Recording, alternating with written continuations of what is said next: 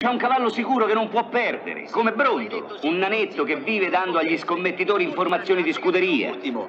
È possibile che ogni volta che mi dai un cavallo, quello arriva ultimo. Ma a me non mi freghi più, non mi freghi più, hai capito? Eh, vabbè, vabbè, peccato, perché tanto oggi Caimano vince. Che hai detto, Caimano? Eh, Caimano, tranquillo. A metà 2000 a me per informazione e vai cortato. Ma è sicuro? Ah, oh, è che del grano... Mica è gente normale, signor Presidente.